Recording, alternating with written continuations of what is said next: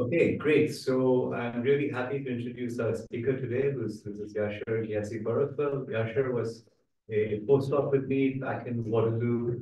Uh, actually, now it out about a decade ago. I was quite surprised. It's been almost uh, it's been uh, uh, 10 years since we worked together. We did his PhD at the University of Toronto in something extremely mathematical uh, with this uh, yeah, stochastic network calculus, and I managed to convince him that this really refers to solar panels, not computer networks.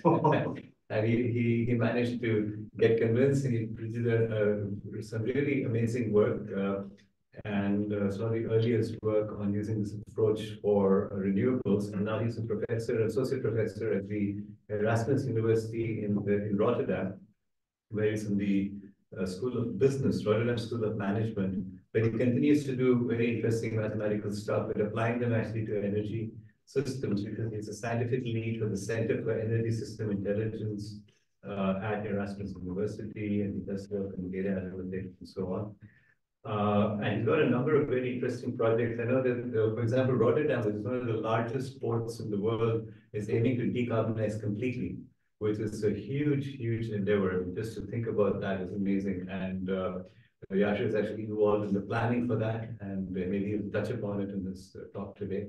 But uh, anyway, it's uh, I, I, recall that uh, and I actually visited uh, Cambridge in 20, 2014 for e-energy, which uh, John Crowcroft was actually co-leading. So uh, he and I flew in together and still remember that time. So anyway, I hope we will see him again in Cambridge, but in the meantime, go ahead and start. Uh, all yours.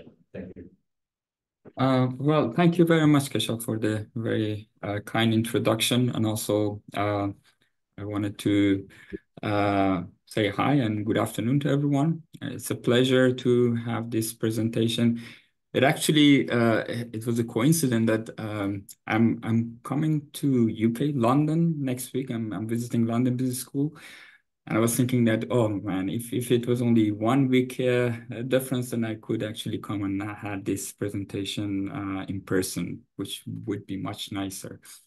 But um, but I'll uh, I'll see that how it goes. I and, and um, I really like to see you all in person, and I uh, maybe in near future will make it happen.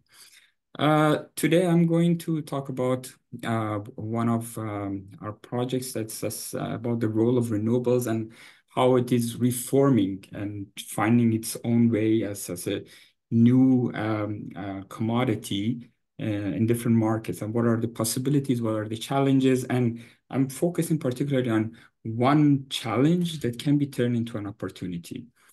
Uh, I've asked uh, Anil, who is the uh, the brain behind all the methodology uh, of this work, to join me and back me up for difficult possible questions. So thank you, Anil, for being here. Uh, this is a joint work uh, with um, Anil and Professor Rebennack. Um, Anil is a PhD candidate and working with Professor Rebennack at KIT uh, but it's also a, a, joint collaboration with um, uh, Mohammad Reza Hesamzadeh at KTH, Kai Pan and Polytechnic Hong Kong, and Derek Wong from London Business School. Um, so let me start with uh, a very brief uh, uh, introduction about myself. Um, I mean, Keshav was very nicely putting it uh, that that how I ended up in in energy domain.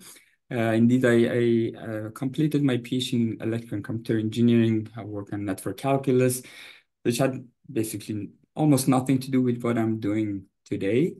Uh, but then I was very um, lucky to have this uh, uh, postdoc um, uh, period with with Keshav at U Waterloo, and I was amazed by um, you know how how impactful this research is and and um, and how it is technically very challenging. So you can be satisfied in doing something that is still very complicated, uh, but also you think that you're doing something that you, you can see the impact. And that that's how I thought that, you know, this could be my future. And then it started. I, I started to do more and more on, on energy domain, and I got more interested in particular um, corners of the energy domain and new projects started. So currently I'm an associate professor at, at um, um, uh, Rotterdam School of Management, Erasmus University. Uh, but because there are many initiatives uh, at, at Erasmus and also in the Netherlands about energy, um, I've been lucky to to get involved in these initiatives. And three initiatives that I'm currently involved in. That's uh, uh, Erasmus Center for Data Analytics, and they have different departments. And I'm the academic director of Smart City and Smart Energy. Uh, within Erasmus, the, there's a an uh, an initiative and uh, uh, that that is um, started by by uh, the need from industry, and then there will be uh, more uh, contribution. So it is growing and it is um, kicking off um, by the end of this month. Currently, it is called Energy Institute. I will be the academic co-lead of um, of this Energy Institute, but it will be renamed, I would say. Uh, and finally, I'm the scientific lead of uh, the AI Energy Convergence. That's a collaboration between Erasmus University at TU Delft. And, um, and in this collaboration, we try to bring together the, the engineering aspect and also the operation research and, and management um, into um, a, a, holistic view of what is needed for um, uh, AI energy uh, research. Um, my portfolio of research is changing over time, but if I want to show a snapshot of what I'm doing today, this figure basically is a good representation. So the main components of my research is flexibility, energy flexibility, energy market, congestion management, uh, data layer um, of, of energy, and system integration. And you see that there are some overlaps between these uh, main components uh, the, uh, those topics that um, that are more interesting at the moment to me, and I'm um, starting to spend time more on, on those topics are flexibility markets. as a new, newly evolving markets. Uh, the, these markets are um, already existing, they, they uh, but very recent. Uh, and in different uh, countries in, in Europe, we have some pilot projects for these flexibility markets. And this is, uh, they want to test that how local flexibility markets can work out to, to extract flexibility from um, um, low voltage and medium voltage levels. Uh, energy data is something that is recently growing um, and it is incentivized by European Commission. They, they figured out that um, there is a large amount of data that it's being collected and it's it's actually needed to be used, uh, but there should be some uh, mechanisms behind standardization, data sharing, how how what how do you monetize data, whether you want to monetize data, privacy, security, and many other issues. And, and they they want to have a, a data safe house for the entire energy domain. Uh, but as you can imagine, there are many different issues with energy data. Um, and uh, with DSOs, if you talk to DSOs, they they um, they don't know what is happening behind the secondary uh, substations level. So to them, what is happening at the neighborhood level is is really blind. They have no idea. And it is becoming very important. They want to have dynamic congestion management, that what's happening at the neighborhood level but because there is no measurement, they don't know how to do uh, how to deal with it. Some DSOs started to look into smart meter data and then um, project that what is happening um, collectively at, at uh, uh, secondary substation level. But there are many issues with that because first of all, yeah, it is not still accurate. And second, there are some privacy issues related to that. DSOs are not allowed to use smart meter data.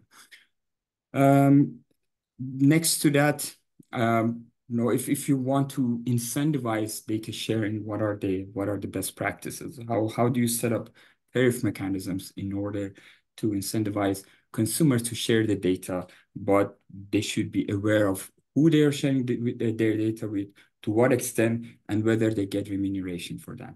So many interesting concepts are um, uh, uh, associated with energy data. Uh, next to that, and also related to is local congestion management. And two uh, big topics um, in the Netherlands are uh, about system integration, particularly about hydrogen and electricity intersection. Um, is a project that I uh, I, I got funded uh, for. That's uh, that's funded by by the net by the, the Dutch Foundation Agency uh, called NWO. Uh, collectively, they they have invested or they are going to invest 800 million euros on on this R and D only about hydrogen because they have the ambition that Netherlands has the potential to be the hydrogen hub of the Europe. Um, and, and for for different aspects of of uh, hydrogen uh, value chain and, and supply chain, they want to figure out what are the best ways to, to make it work. Uh, this particular uh, work package that I'm involving in HYDROS project is about setting up the uh, the value chain and, and market for hydrogen, especially in intersection with, with electricity. Um, Keshav mentioned the, the Port of Rotterdam. Uh, the, the project, that's a Horizon project, that's called MAGPIE, that's led by the Port of Rotterdam. Uh, but there are 40 other partners as well. And the, the main purpose of this project is to set plans for uh, for the uh, targets that they have for 2030, 2040, and 2050 decarbonization. Uh, and in particular, we are focusing on the electricity sector in the intersection with transportation. What are the um, best investment decisions? uh, in terms of grid capacity, in terms of batteries, battery locating and battery sizing, and also smart charging. How can you design and operate such a system?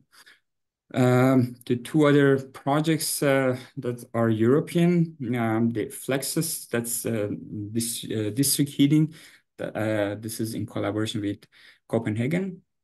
They have two municipalities there that they want to um, migrate from individual heating to district heating, but in the transition time, they want to see what are the the, the best decisions that they can make, how they can help their, their citizens. And Come to Heat is um, is um, uh, is a high TRL project. They want to implement a local heating system uh, that can interact very closely with electricity.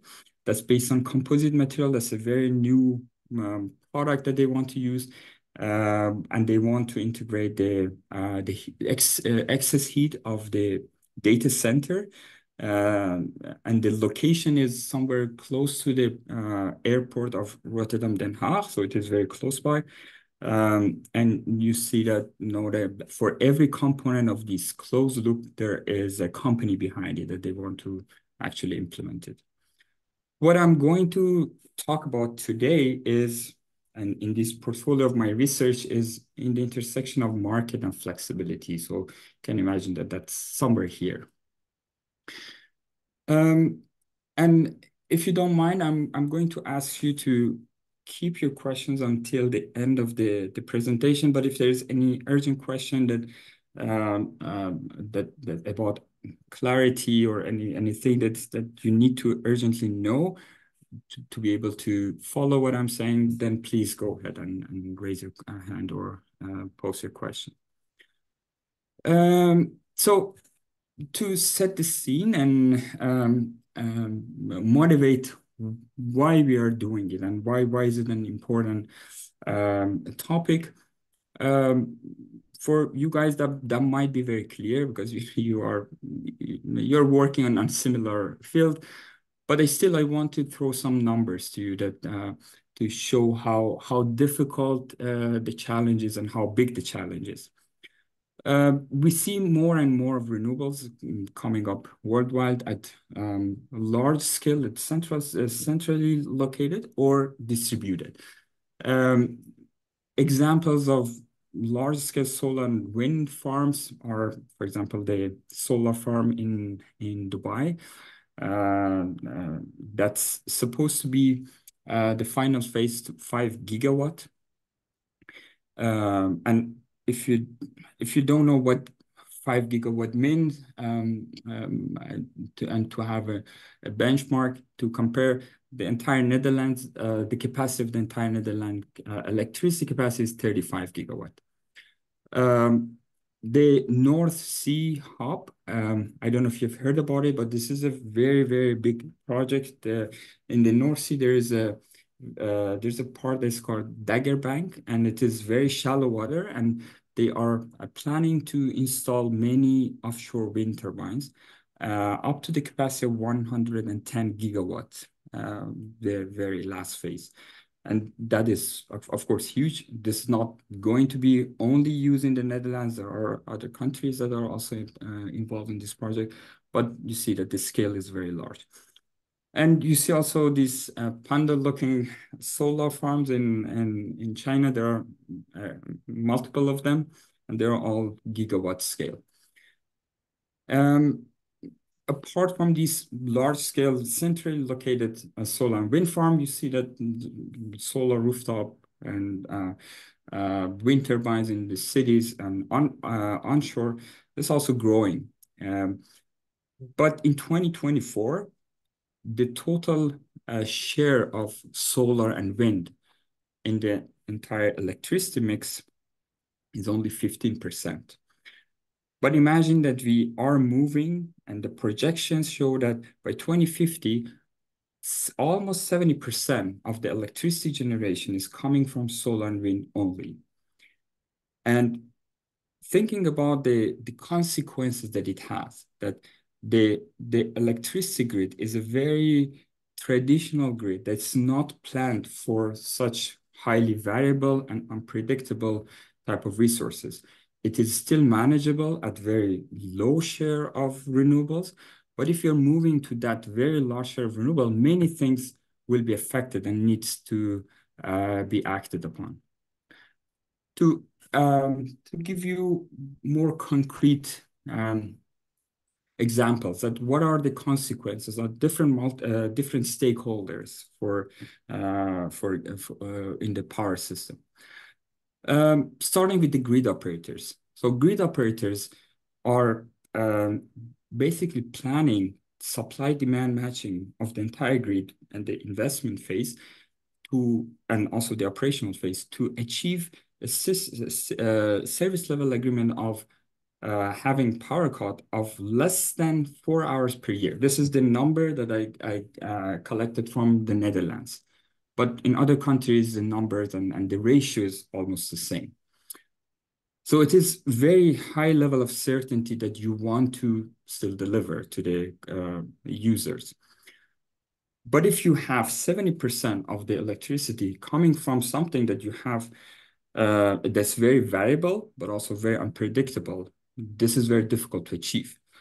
It will need a lot of coordination. You need multiple sectors, multiple energy sectors and energy vectors uh, and by vector I mean energy carriers, to, to coordinate with each other, to, to be able to transfer uh, energy surplus and shortage from each from each other so that they, they can make sure that you can achieve such high level of service uh, agreement, service level agreement. Uh, you can imagine that you will have more congestion. The congestion is already uh, um, uh, observed, especially in the Netherlands, because we, now they, the subsidies have incentivized people to, to go for electric vehicles. Um, they uh, and solar panels. So in both energy shortage and energy surplus, they, they see that the uh, the capacity of the transformers and, and wires are reaching already um, um, even at this low share of Mm, solar power and, and uh, electric vehicles. So there will be more and more congestion, especially at the local level. Um, and because you're moving away from these traditional uh, uh, energy generators that were uh, uh, generated uh, centrally and in bulk towards more distributed um, and in small scale generation, you need to reconfigure the, uh, the energy network, going from a central uh, and top-down network to a decentral and very communicative network.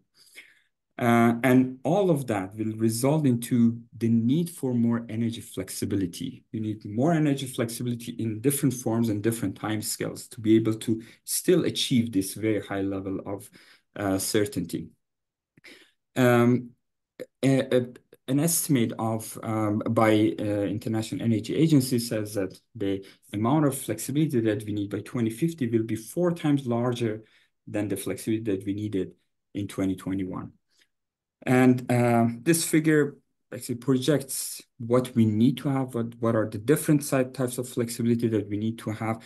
And this is cumulative hour per year uh, for 2050, and that's uh, that's a report um, provided by the uh, grid uh, grid operator association in the Netherlands. But you see that different forms of flexibility needs to be combined so that you can still manage the um, the uh, the high level of uncertainty that that you will achieve.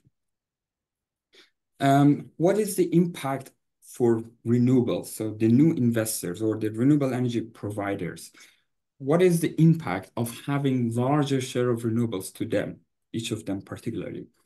So they used to uh, receive uh, large subsidies at the investment phase, but these subsidies are going down. There are less and less subsidies. Uh, and this figures show the, the merit order curve of the generator um, um, in, in the electricity market. And the, those uh, older renewables, there's actually a negative bar that's not shown here. There's a negative bar, and that's the negative marginal uh, cost of the renewables with large subsidies. And these subsidies are larger for those that entered the market earlier. Those that they enter market later, they will be closer to, to this zero line. So they have uh, less advantage compared to the previous um, uh, renewable uh, in investors.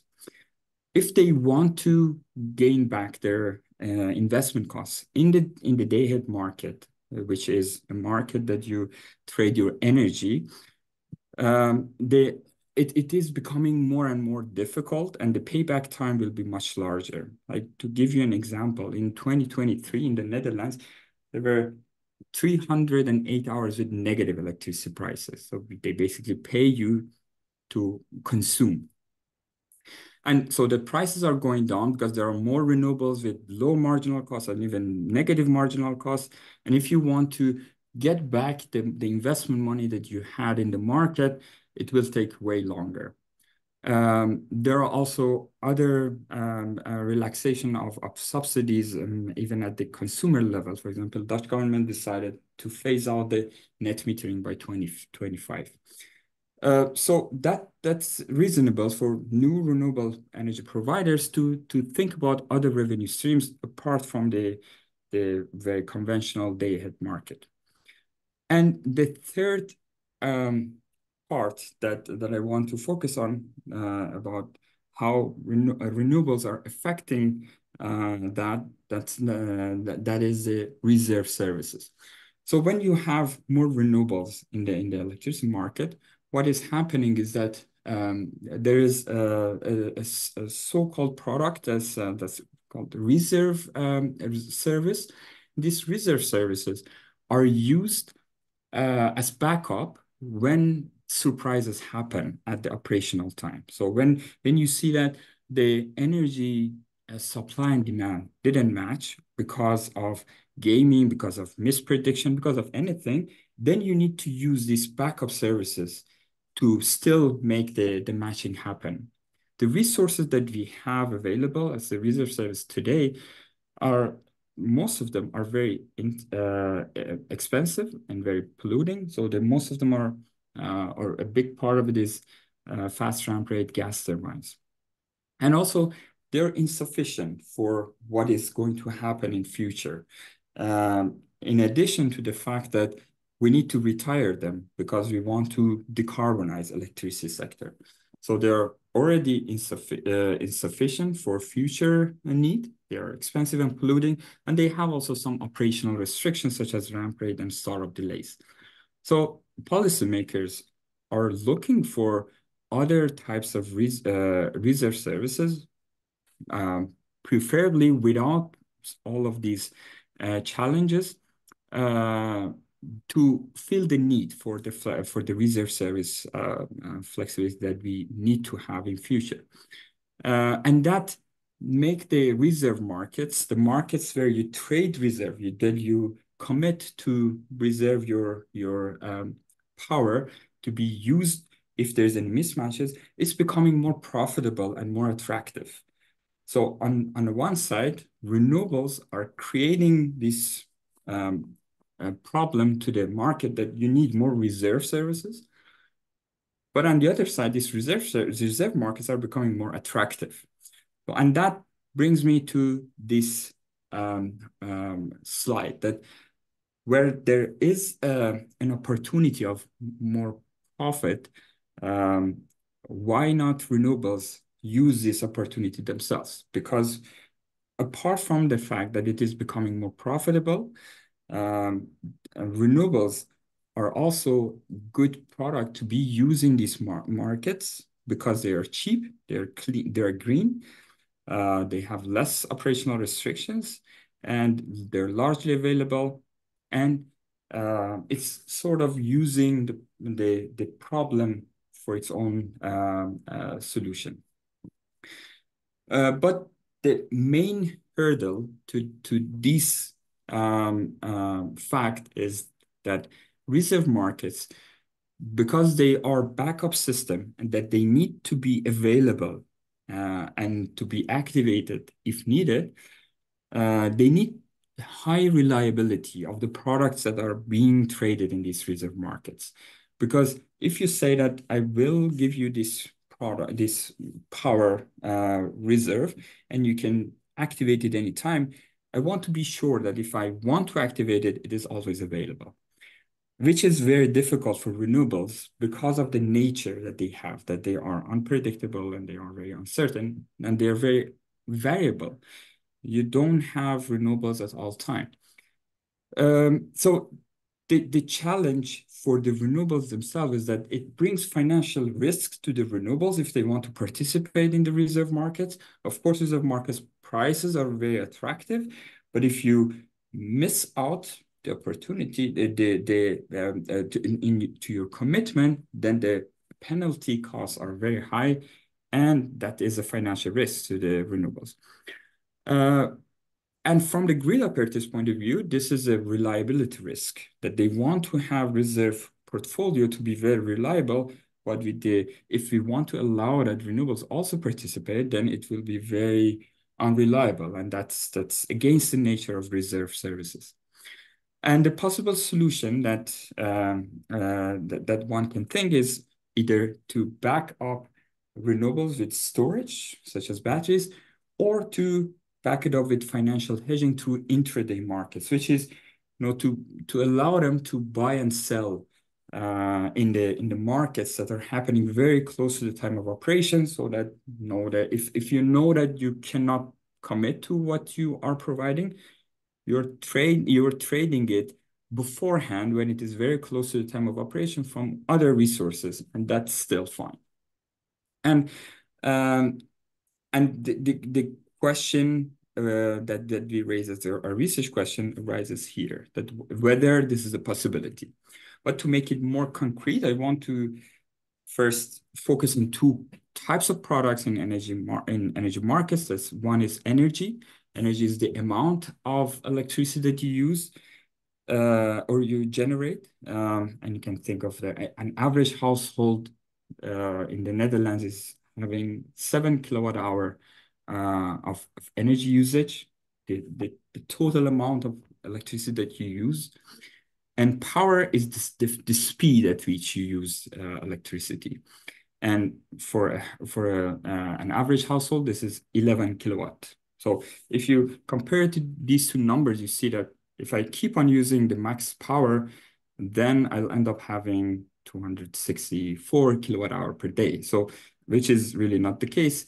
And that shows that the peak to average ratio is pretty high, even for the consumption. Um, different products, power or energy, are traded at different levels of the market. So if you think about the electricity market and how it is uh, set up, it's a multi-stage market. Uh, reserve products are being traded before the, the operational day. Uh, so you, you commit as power. You commit how much power you can provide for for how long. Um, and then on the day ahead market, you trade energy. Say that how, how much energy you have per hour of the next day. Then the next stage is intraday market in which you you can adjust your, your day ahead bit. You can say that, no, I, I have this much energy available at the delivery time. So you have a better understanding of how much energy you'll have at the delivery time. And then after the operational time, if there's mismatches, then the reserve uh, uh, products will be activated and the financial adjustments will be applied to the activation. And if there is mismatches between your day ahead and intraday uh, commitments, then the penalty will be also applied to you. So the question that we raise here is that can renewables commit power uh, in the reserve markets and back it up with intraday market trading?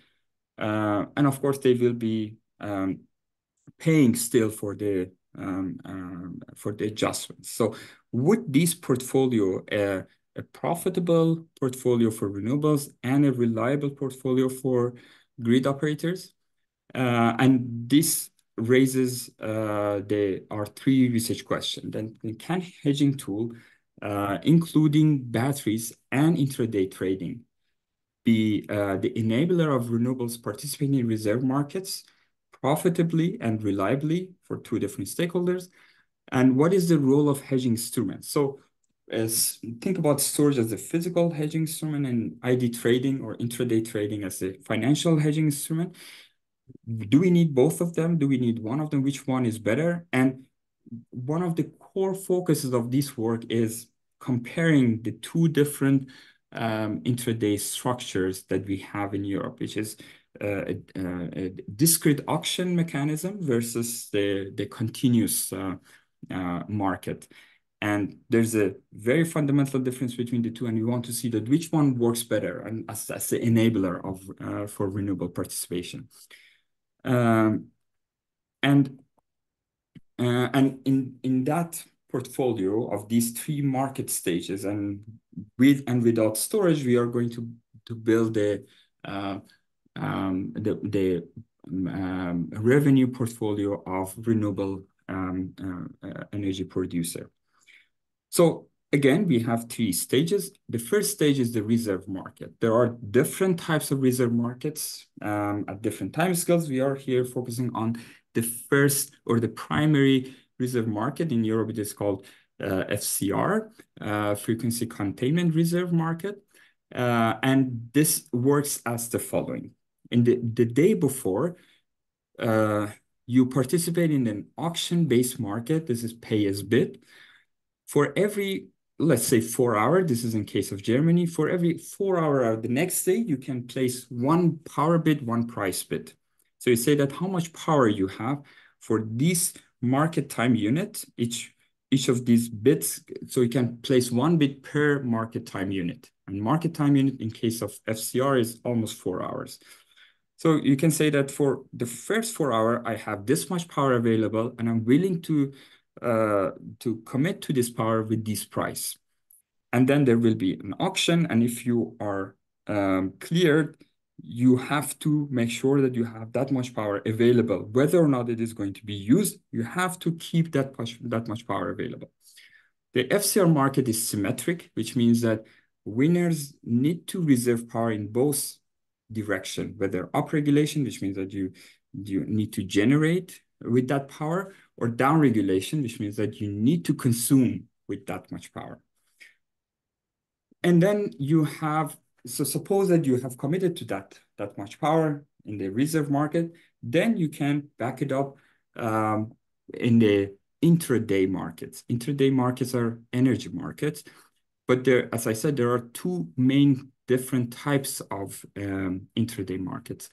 Discrete um, auction intraday markets, that is the market that is used in, for example, Spain and Italy.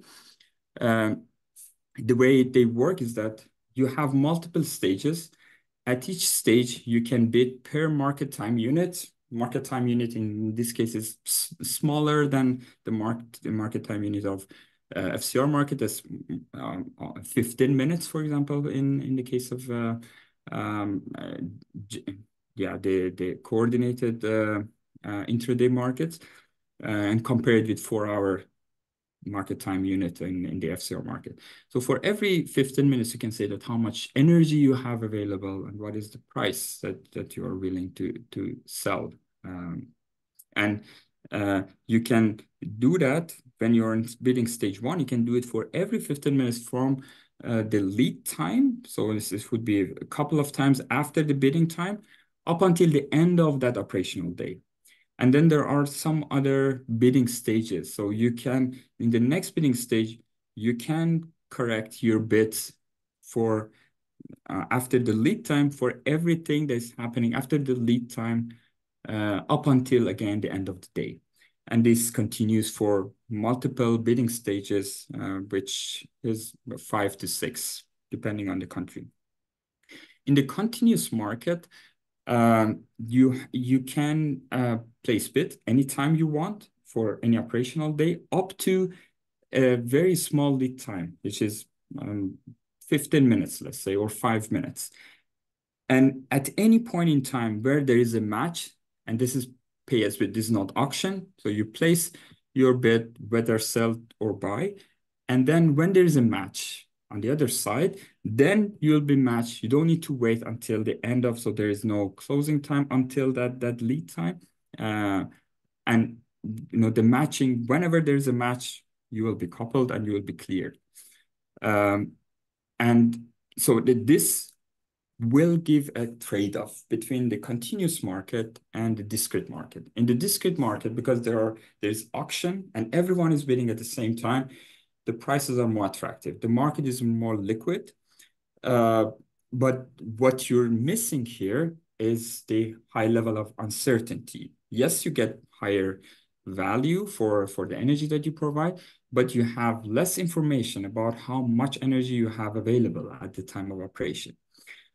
Uh, in the continuous market, that's the opposite. You This is less attractive prices because uh, you will, because not everyone is bidding at the same time, so you will miss out at some opportunities that might come up later or before.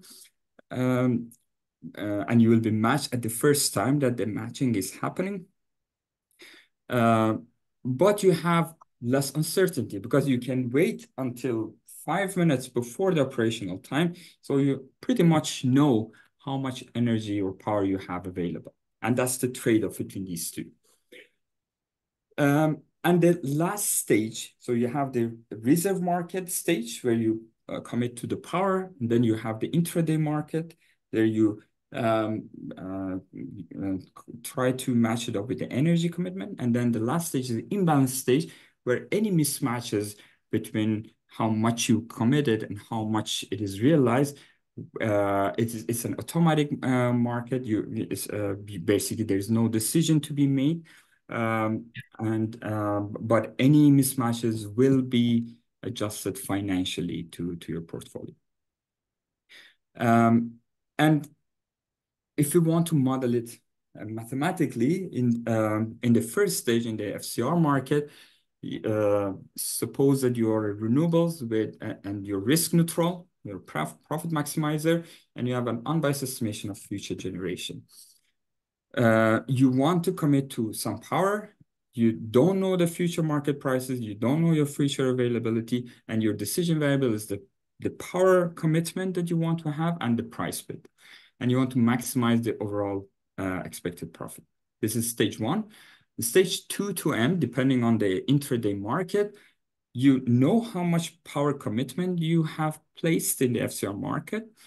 Then you want to um, place your intraday bids, which is in the case of discrete market, that would be the inter, uh, the energy bids, how much energy you want to uh, commit in the, the intraday market.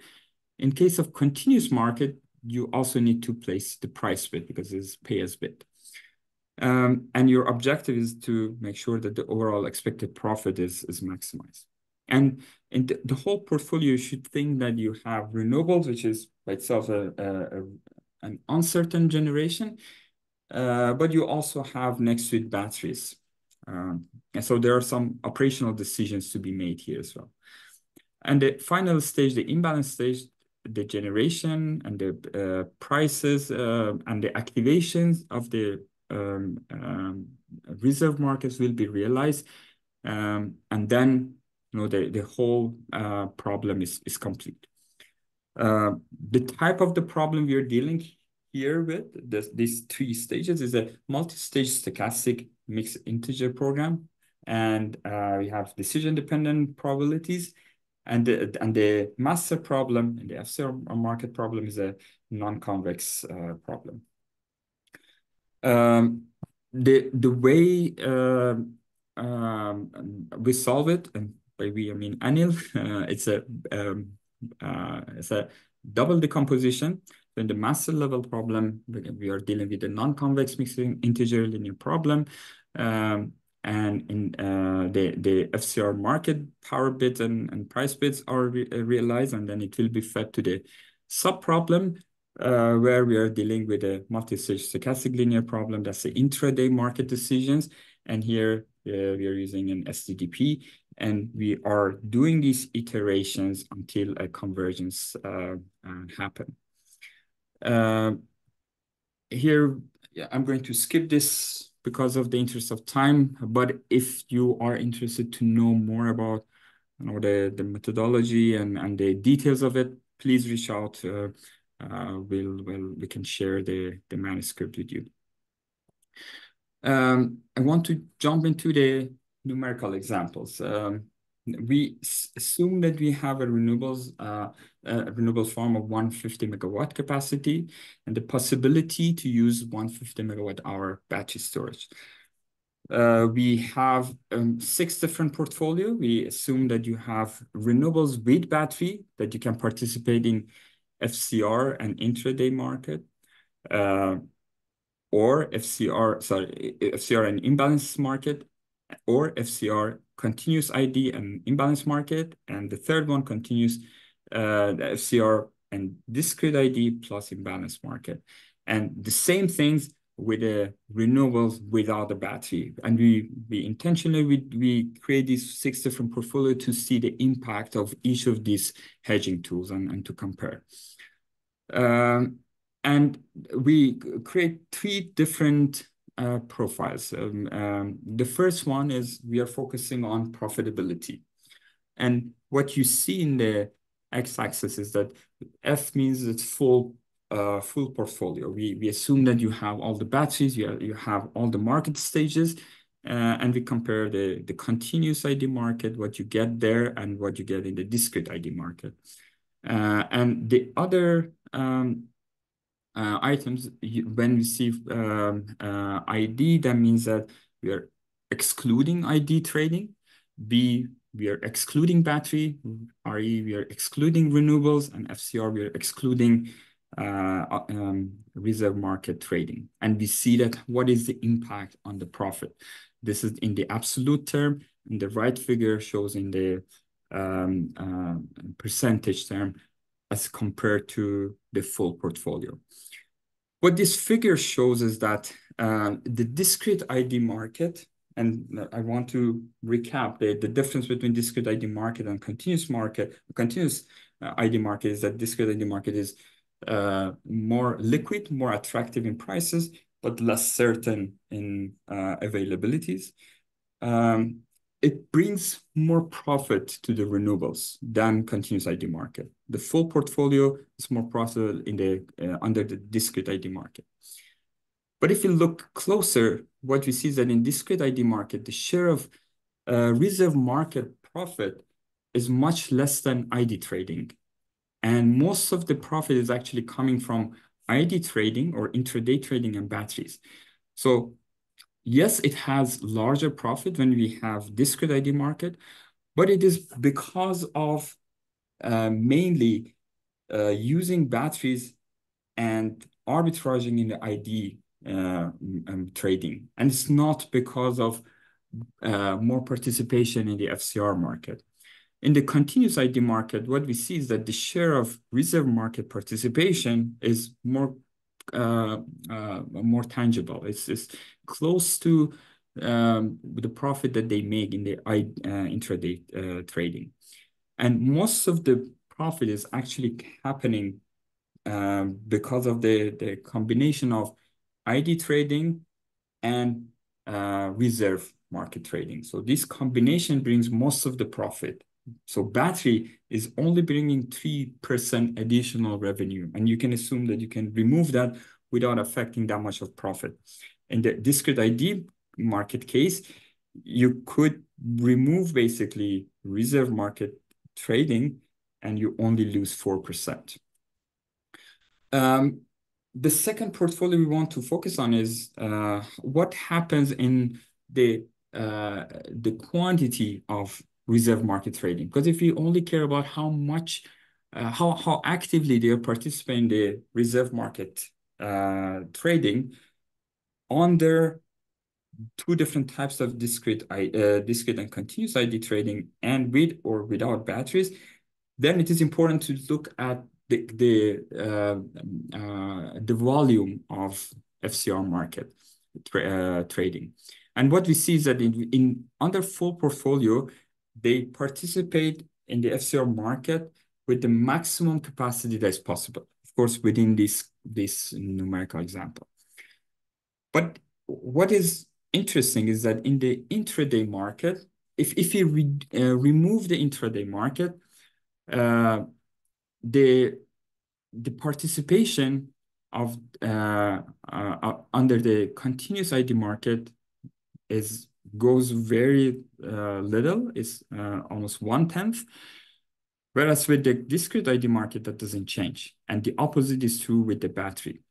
And what it means is that under the discrete ID market, uh, reserve market participation is mostly incentivized by batteries and not by intraday trading. Whereas in the continuous ID market, uh, reserve market participation is mostly incentivized by ID uh, trading and not the battery. And finally, with the reliability, what we see is that in both intraday uh, markets, the reliability doesn't change that much by FCR participation. Uh, but what we see that's interesting is that it it's um, it's better that you only use one of these uh, hedging tools, either intraday markets or batches, but not both. Because once you have both of them, uh, what is happening to, to profit maximizer renewables is that they use this portfolio to make more profit, and it is um, happening in a way that is uh, hurting the reliability. Uh, but if you, they have only one of those two hedging tools, um, the participation remains the same and the reliability is, uh, is higher. So that brings me to the takeaway messages. What does it mean? Uh, renewables can participate profitably and reliably in the FCR market, at least theoretically with uh, looking at the numbers. And these numbers are uh, empirical numbers that we got from um, uh, uh, German electricity market, and also the coordinated FCR and intraday markets. Profitability and reliability highly depends on, on hedging tools. Among all of these hedging tools that we consider, two different types of intra, uh, intraday markets and batteries, we see that continuous ID markets is the best enabler of reserve market participation. Um, and under continuous ID, what we see is that there is no need for batteries because that brings both the profitability and FCR participation. Under discrete ID, what we see is that battery is the main enabler and not the ID trading. What does it imply to renewables? It means that when allowed, use FCR participation in the portfolio, especially in case of continuous ID trading, you see that this is a big part of uh, the profit. Uh, under continuous ID markets, batteries don't help that much for, profitability. So it's better that you focus on renewable and if you want to invest more, invest on renewables, but not adding battery to, to that portfolio. Uh, in under discrete ID market, basically ID trading is the uh, most profitable part. Uh, but if you want to consider also reserve market participation, then batches are essential.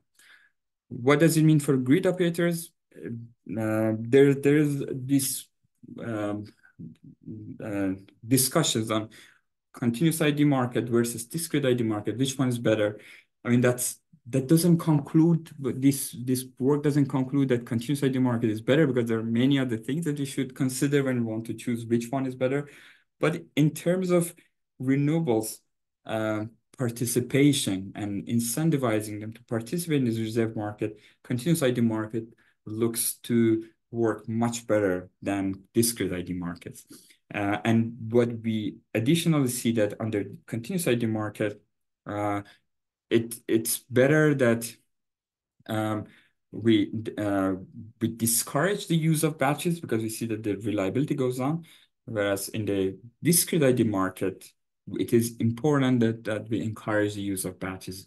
Otherwise, we should not allow renewables to, to participate in the market. Uh, and this is basically where we are now. Um, and that, that concludes what I wanted to, um, to talk about today. And with that, I want to return it back to you, and I would be happy to take any questions if you have. Thanks very much, Yashar. Okay, questions to anyone? Um, uh, so I'm, I'm trying to understand at a high level uh, the, the the the the discouragement of using batteries in the uh, in the FID markets. So so if you're mixing non-renewables and renewables, um, surely it's always better to have the batteries there. So the batteries themselves don't have to be used, right? They, they're, they're, they're there as a reserve. So is it the case that you're uh, you're saying that if you actively use the battery supply, that it's a it's a bad hedge versus the existence of the batteries um, for for for other for other kind of uses such as um, hold, holding off a coal plant firing up, for example? Yeah, that, that's that's a very important, interesting question. Um, there are a couple of things. So first of all, as you said, um, suppose that everyone and the, the the the market is a central market and there is no distributed decisions to be made and uh, there's a, um, um, a, a market operator which has goodwill and use the batteries in the most efficient way. If that is the case, then of course having more hedging tools that's that's always helping the market. Uh, it makes it more reliable. It it makes it uh, the the reserve uh, products to to be always available when needed if you have the, the batteries.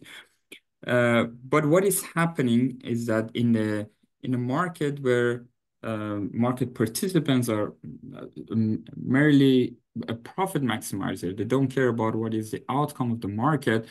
Uh, if the market is not designed fully efficiently, then um, the decision of the uh, of uh, of the profit maximizer decision makers are not necessarily aligned with what is good for the market.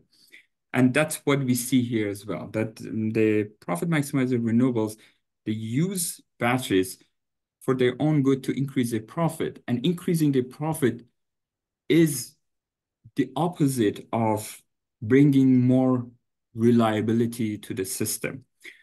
If you uh, monetize reliability highly efficiently, then they should be aligned that um, more reliability is more uh, unreliability is more costly, and this should be transferred to also market participants. But because the, the markets are not uh, fully efficient, they they are misaligned.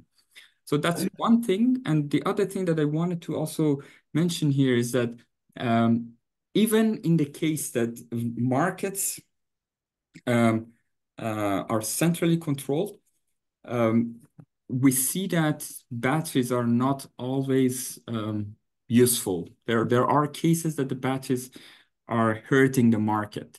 Uh, uh, a good example of it is that uh, you might think that batteries always bringing down the the total carbon emission of the uh, of the market, uh, but even ignoring the the embodied carbon of the of the battery manufacturing. Just assuming that the battery is an ideal battery and there was no carbon going into the battery to, to be produced, just the operation of the battery in the market can increase the CO2 emission of the overall market. Um, so there are also uh, some complications, some subtleties that um, uh, in the market, batteries are not always useful. Thanks very much. Just one clarification then. Um, sure. Should I think of regulation as forming a more efficient or less efficient market? Because regulation for reliability will result in, uh, obviously profit maximizing not being the goal. And so that'll then impact which strategy to use, right? Yeah, so I'm I'm uh, I repeat your question to to make sure I understand it. So you say that what is the uh the regulation to make uh is there any regulation to make the market more efficient? Well, it's just that this will not be a free, uh, uh, uh, like an entirely free market because it's an energy market and Right. security reasons and you know civic reasons why it should stay like that. So um any regulatory influence from governments will result in that market being efficient with respect to the regulation. But Yeah, yeah. minimizing, it's not maximizing profit, and therefore changing the effect of batteries. So I'm just curious where regulation you know, fits in into, your thinking. Yeah, the, um, true that um, ideally they want the market to be fully deregulated, uh, but uh, because of the, the technological changes in the market, um, the, the market is seen as, as a, a is in, in the transitional mode. And in the transitional mode, there must be some regulation in place so that it, it can make them or push the market in the more efficient way. Um, so there are regulations and you know if, if you focus on what what we observe here, we can propose some regulatory uh, uh, aspects that can help the market to move into that direction? What what what should be the market structure, market mechanism that aligns these two objectives together? We can come up with those regulatory perspectives. Um, but there are also many other issues when we talk, talk about wholesale electricity markets because geopolitics plays a big role. That there are cases that you have capacity available uh, that can benefit, uh, but you you still don't open it up to neighboring countries and there are so many of such cases so it's not as simple as uh, saying theoretically what is working there's so many other issues some of them are highly Okay. political that governs how the markets are, are working but Yeah. there are yeah the european commission and also the the the market uh, regulators always come up with with new rules and new proposals and same here, we, we have listed some regulatory perspectives as well. Thank you very much. That was a wonderful talk and a, and a, and a really good clarification. Thank question. you. Thank you. I'm sorry, but we have to go because there's a departmental event that starts like two minutes ago. So I have some questions for you. I'm going to send them to you by email, but uh, thank you very much. Thank you. Have a good day. much. Bye. Thank you.